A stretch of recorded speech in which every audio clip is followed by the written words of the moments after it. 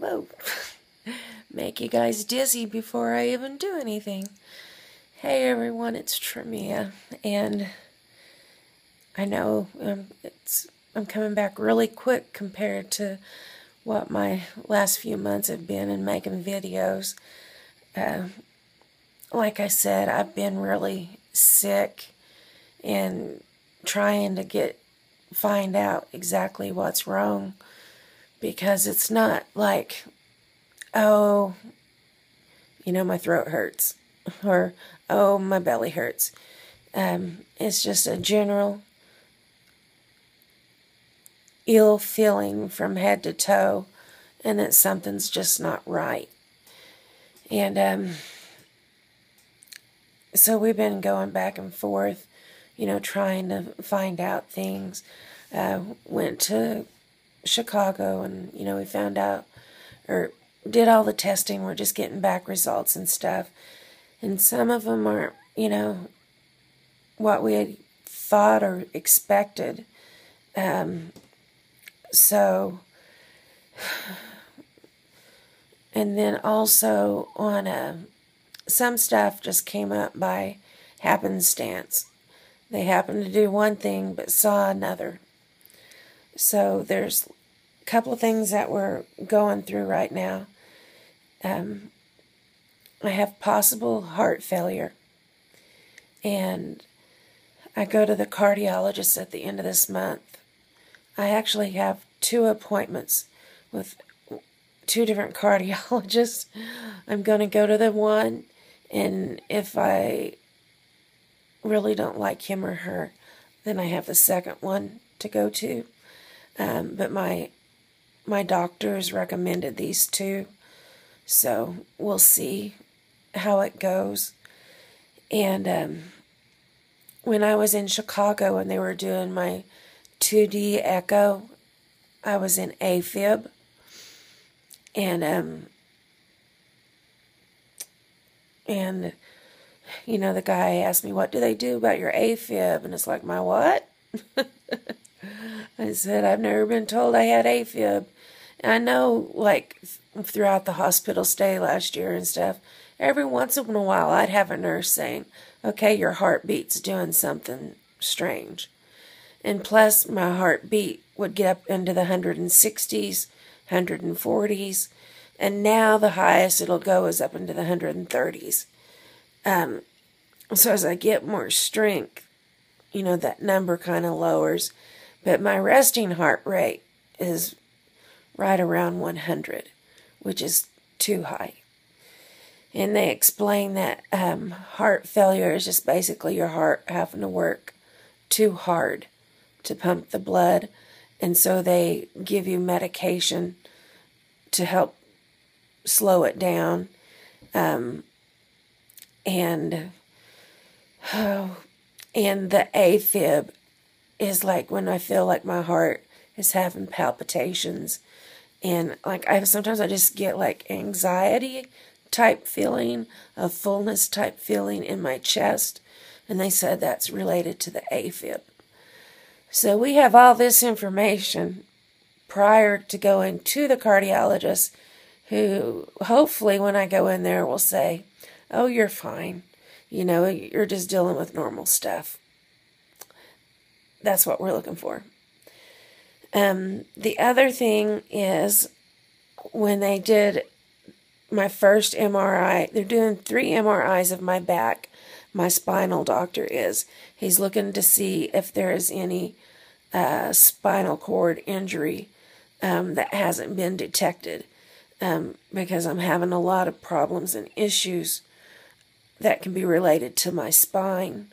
Um, I'll be, I, hate to say it, I don't, I hope it's not too much information, but you know, incontinence and, and I'm not just talking about I sneeze, you know how women are after having children. It's, it's not that. I wish it, I could say it was only that. Um, but, uh, so and he's taken all the MRIs also to see what type of wheelchair is going to best be best for my for my back um, he goes, he says words were, you know, they make special kinds for broken backs. it's like my back is broken. I know it's been repaired, um, 15 different places.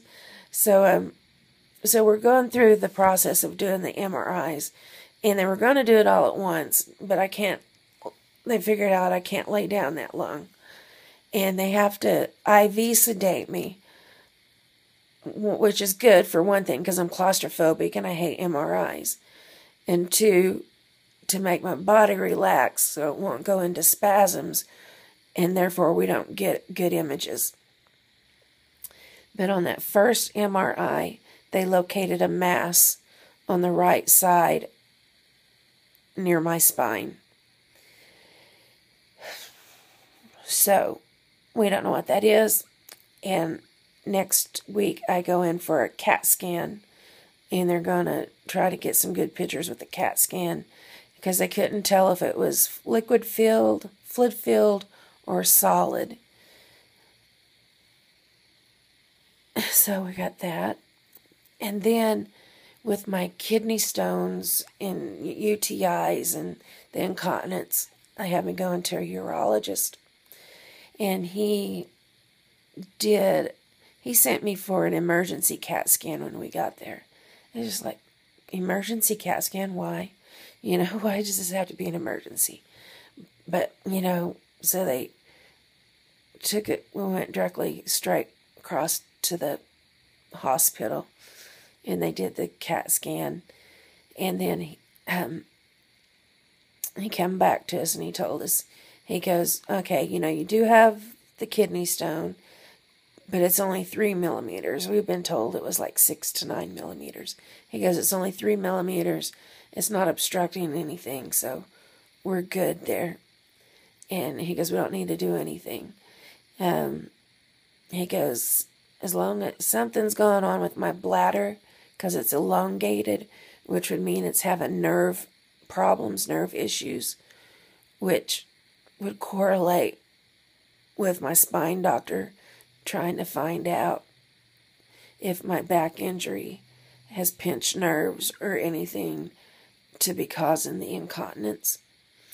And then he goes, But what's most concerning is your liver. There's a lesion on your liver. Um, and goes in May, when they did a CAT scan, it was less than one inch by one inch and now it's a little over three inches by two inches. He goes, That's significant growth. He goes, I'm going to go right now. He goes, Do you have a GI doctor? And I said, Yes. And I, he told him who, and he goes, Good. He's one of the best here in the city. And he goes, I'm going to go call them right now. And so now I also have to have an MRI of my abdomen for them to look at the liver in which it's frustrating because for months, months, like I have a pooch over on that side, and it, and it's just continually grow, gotten bigger. Um, it pooches out, and you know it's I'd say like about like if you cut a grapefruit in half, and it you know just kind of goes pooches out a large grapefruit size area um, half of it, you know, not like there's a whole great big grapefruit hanging out on my side. But, you know, we've had doctors, you know, and they've looked and they looked for hernias and stuff, and no, could never figure out anything.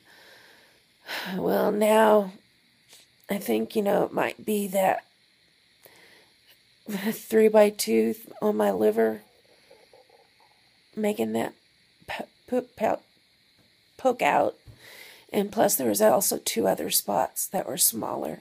So there's actually three spots. So we're dealing all of this with this, and I'm I'm scared. I'm scared.